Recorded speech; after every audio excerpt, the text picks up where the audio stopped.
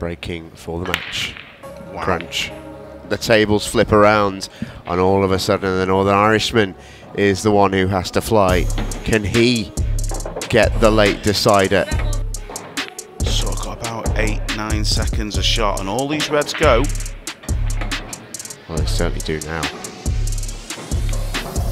30, 34 seconds to put five balls. He certainly should be getting to the eight ball, you feel, centre. Gary Clarke's in business. He's going to get there. Come round off two cushions for the eight in the same pocket. He's gone a little bit far. Here you go then, this for the win to knock out Tom Cousins. In it flies for Gary Clarke.